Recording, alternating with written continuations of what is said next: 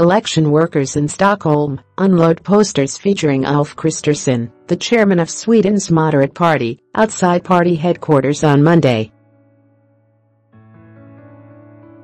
Christine Olsson TT News Agency AP, by Anne Applebaum Applebaum columnist focusing on national politics and foreign policy email bio follow columnist September 10 at 2.40 p.m. in the strange world of the online alt-right, Sweden has long played a special role.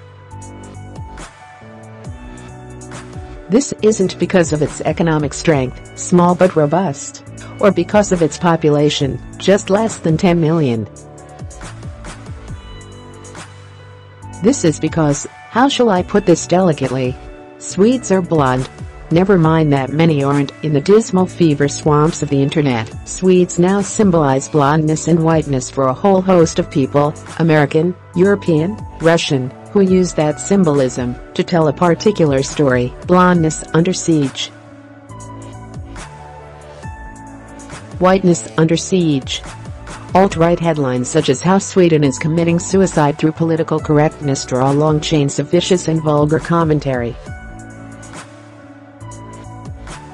In particular, the bloggers and trolls object to Sweden's 2015 decision, in reaction to the worst refugee crisis in post-World War II history, to let in 160,000 people.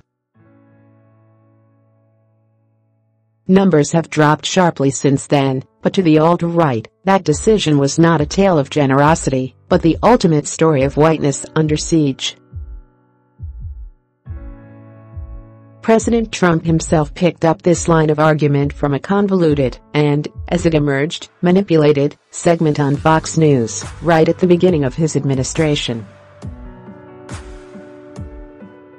Inspired by some dramatic misreporting, in February 2017, he ranted to a Florida rally, you look at what's happening last night, in Sweden. Sweden? Who would believe this, Sweden? In fact, nothing had happened in Sweden,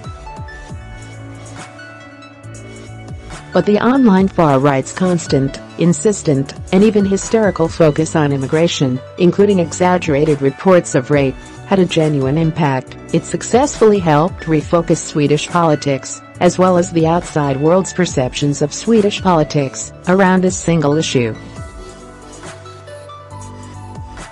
From British tabloids to the New York Times, how the far right conquered Sweden, the only story anyone tells, is the rise of the far right, explicitly anti-immigration Sweden Democrats, projected by some to emerge as the largest party in parliamentary elections on Sunday. It's going to be huge, Alex Jones of Infowars ranted last week. As exit polls were published on Sunday night, Breitbart News trumpeted, prematurely, that the party had surged, while the establishment faltered.